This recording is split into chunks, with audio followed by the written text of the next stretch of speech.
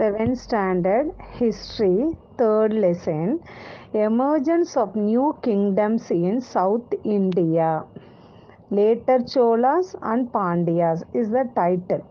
So in the south indian kings later cholas and pandyas about them we are going to see in this lesson.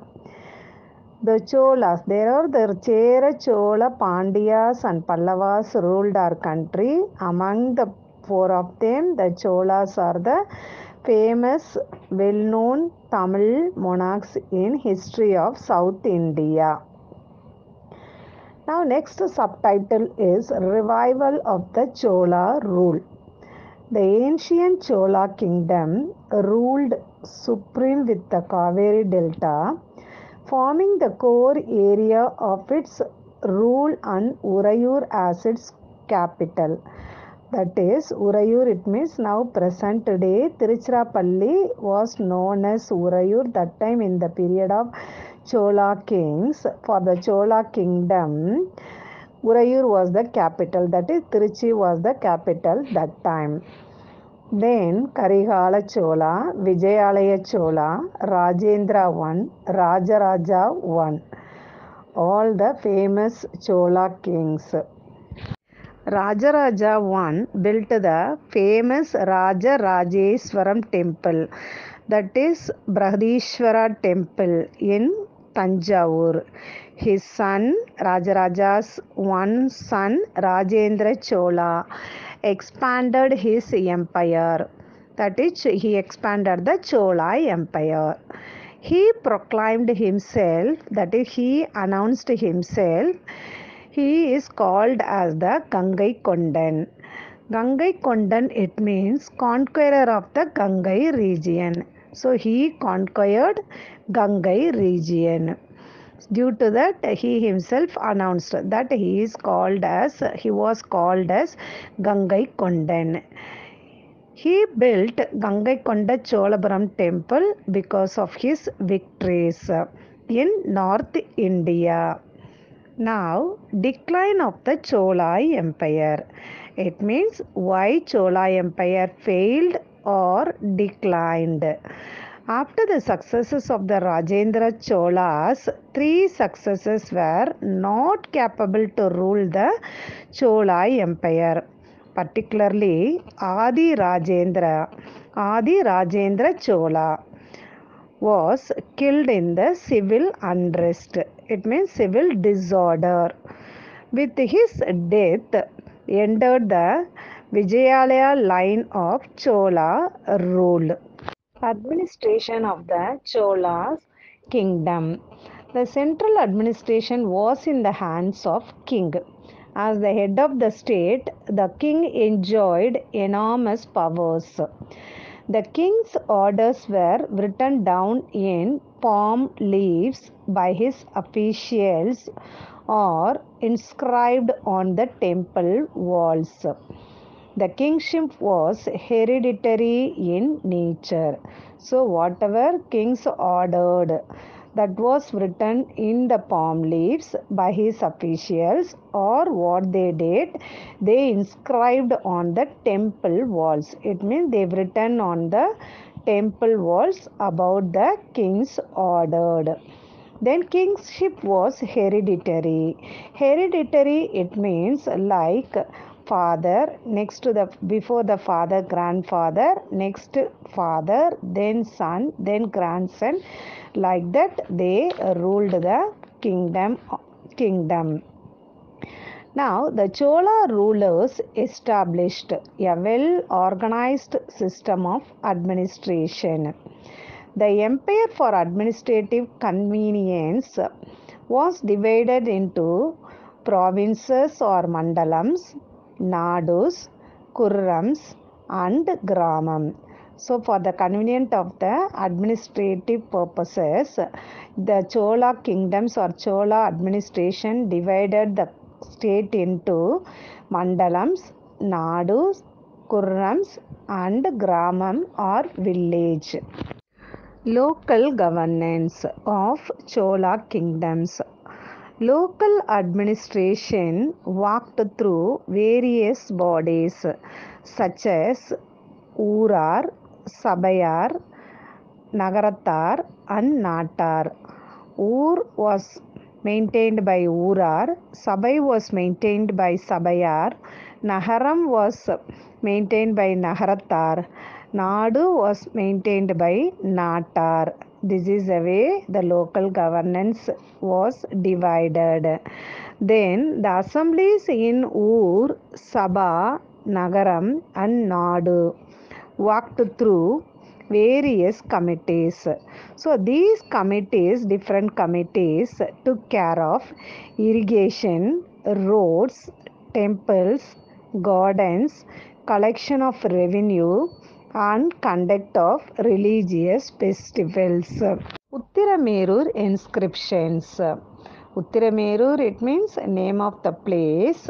Inscriptions, it means inscribed or described about the Chola Empire. Uttiramerur now presently in Kanjipuram district. It was a Brahmadeya land. It means land grants given to Brahmins. So in that time, kings donated a land to Brahmins. So that is called as Brahmadeya village. There is a detailed descriptions of how members were elected to the committees of the village sabhas. That is committee members how they were elected. That was inscribed on the Uttiramerur inscriptions. So the process of election was like the name of the candidates have written in the palm leaves and they put it in the pot. Then the eldest of the assembly would engage a boy to pull out the one slip and declare his name. So various, com- various committees were decided in this way. So the elections about the election Chola's empire's election was narrated or described or inscribed in the Uttiramerur inscriptions. So how the kings or the committee members how they elected not kings the how the members were elected village assembly for the village assembly. It means the different candidates names have written in the palm leaves and they put it in the pot. And one boy engaged to pull out the one slip from the pot. That person should be the head of the committees. This is the way they conducted the election. About this election, they narrated in the Uttiramerur inscriptions. About revenue. So, the revenue of the Chola state came mainly from the land. That is, they collected land tax, which is known as Kanikadan. Land tax was called as Kanikadan, and in what way they collected? One third of the productions they collected as land tax. Like in that time, like thousand rupees if they have produced the product. So among the thousand rupees, they had to pay like 333 rupees as tax to the state. So one third of the productions they had to pay as the land tax. It was called, it was collected mostly in kind. Kind it means like things. That time they did not pay by as rupees or money or something. They paid for the tax as the tax like things. That is called as in kind. Next subtitle is Social Structure Based on Land Relations. The Chola rulers gifted tax free lands to royal officials, Brahmins, temples, and religious institutions. Land granted to Jain institution was called Palli Chandam. So the Chola rulers gifted a tax free lands the people those who collected land from the rulers they did not want to pay the taxes that is called tax free lands so to whom the chola rulers gave the lands to the officials brahmins temples and religious institutions. The temples collected the tax free land that was called as Devadana villages. And like religious institution of Jains, Jains institution, they collected the land from the Chola rulers that was called as Pallichandam. Now, irrigation in the Chola period. Cholas gave important to importance to irrigation. Irrigation it means supply water to land. Cholas gave importance to irrigation that is supply water to the land. So and Chola kings constructed embankment like 16 mile long embankment. Embankment it means like dam.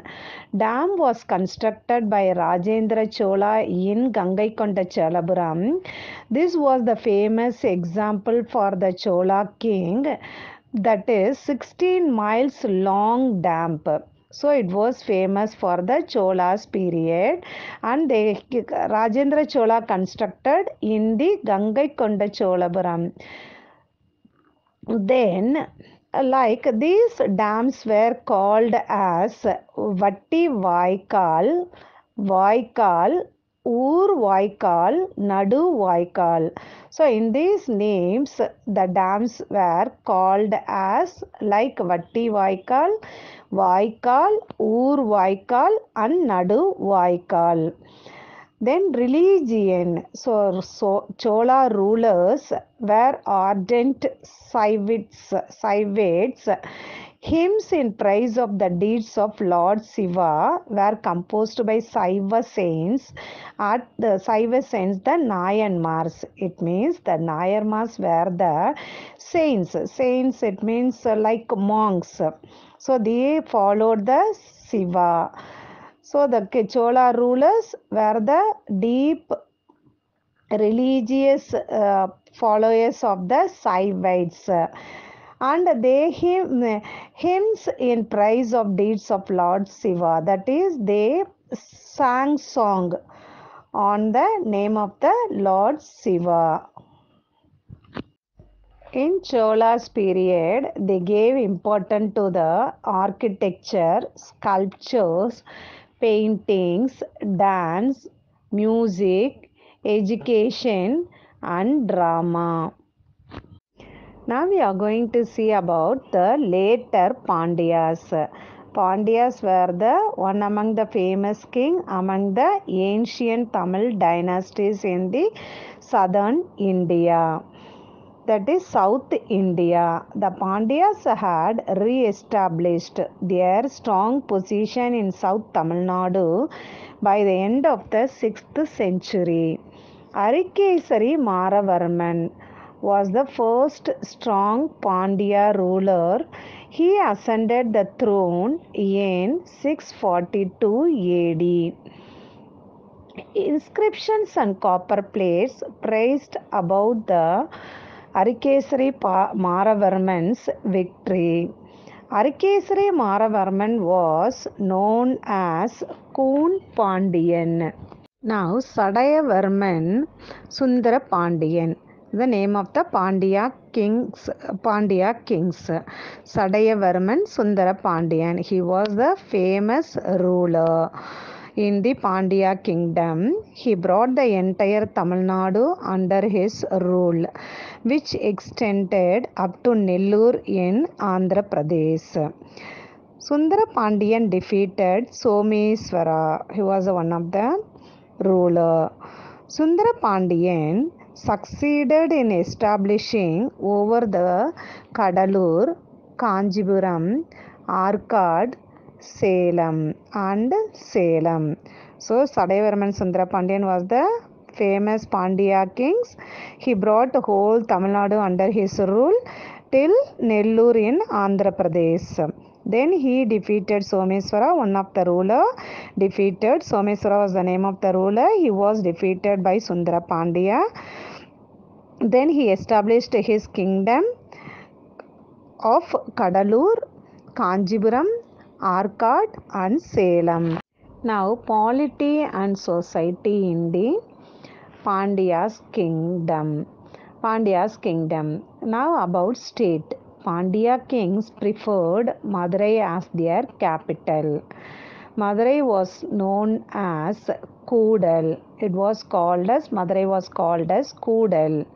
The kings are traditionally called as Koodal Kon, Koodal Nagar Kavalan. They imported horses from the Arabs people.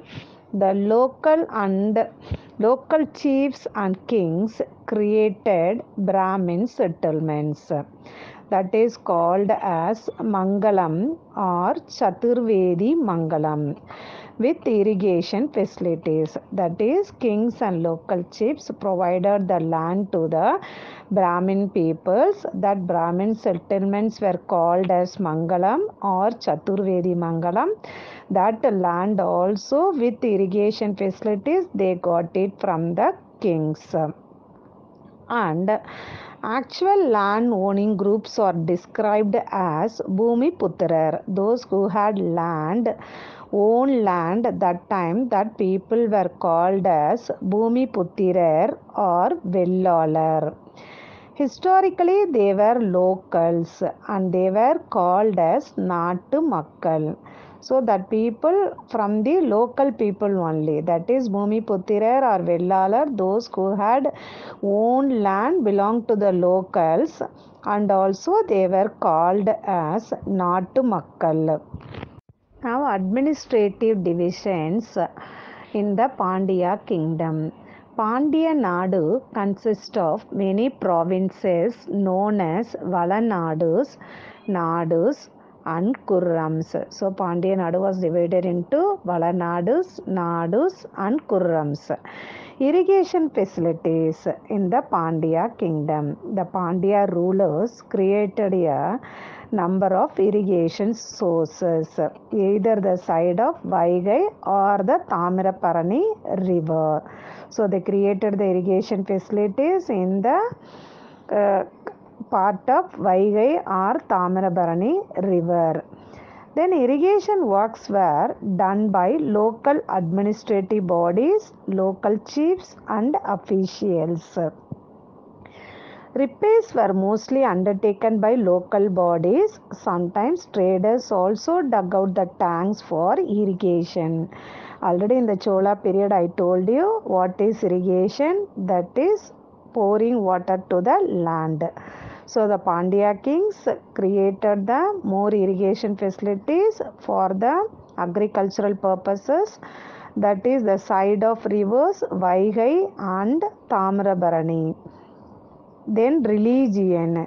Velvikudi copper plates as well as inscriptional sources mention the rituals like Aswamedha Yaga, Hiranya and Vajapeya Yaga construct, conducted by every great Pandya king. So name of the copper plates that is called as Velvikudi and inscriptional sources mention about their yagas. That is name of the yagas. It means they are they made pujas by the fire. They made pujas by the fire. That is called as yaga. The name of the pujas called as aswamedha yaga hiranya garbha vajapeya yaga. These are all conducted by the great pandya kings the great Saiva and Vaishnava saints like Nayanmas and Alvas. So 63 Alvas and 12 Nayanmas were saints. These people were called as saints. That is, they followed the God. That is, they worshipped of God like Saiva, uh, Siva and Vishnu. So the Nayanmas and Alvas were the followers of Siva and Vishnu. They were called as saints. So 12 Nayanmas and 63 Alvas were in the period of Pandya's kingdom. They gave importance to the Tamil literature and spiritual enlightenment. The Pandya kings of, of the period supported the promoted Tamil and Sanskrit language. So the Pandya king supported the Tamil and Sanskrit language. Then temples. The sculptures, sculptures of Shiva, Vishnu, Kotravai, Ganesha and Subramaniar are the best specimen in these temples. Shiva, Vishnu, Kotravai, Ganesha and Subramaniar. All the name of the gods they worshipped. The Pandya kings worshipped. Pandyas especially gave important the historic Meenakshi temple and at Madurai. That is, Pandya kings constructed the Meenakshi temple at Madurai and they kept expanding its premises by adding gopurams and mandapams. Trade. So, Pandya kings had the trade contact with the Arabs. In Kayal, at present, Kayal Pattinam there was a person that name was Malikul Islam Jamaluddin. So that person, that man, what he did, he bought the horses from the Arabs and sold it to the Pandya kings. The vast trade in horses of that time has been recorded by Vasaf. W A S S A F F. Vasaf. Vasaf was the name of the writer. He wrote in his book that is as many as 10,000 horses were imported into Kayal Pattinam. That is, Vasa was the name of the person. He wrote in his book, he said about that, that is 10,000 horses were imported from Arabia to Kayal. The average cost of each horse was 220 dinars of red gold. So, the Pandya kings gave important to the horses. Horse trading